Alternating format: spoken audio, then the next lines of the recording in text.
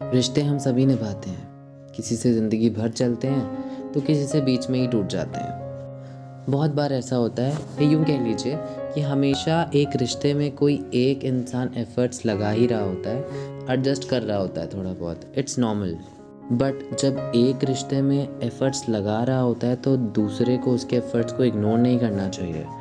कोई कुछ कहता नहीं है, इसका मतलब ये नहीं कि उसे बुरा नहीं लगता। किसी को इग्नोर करना और उसके एफ़र्ट्स और उसकी वैल्यू ना करने से दो चीज़ें होती हैं। पहले तो उसे हर्ट होता है और दूसरा वो इंसान इतना थक चुका होता है एक टाइम पर कि वो एफ़र्ट्स लगाना ही छोड़ देता है। और ऐसे ख़त्म हो जाता है एक रिश्ता। तो ज़रा ख्याल रखिए ना।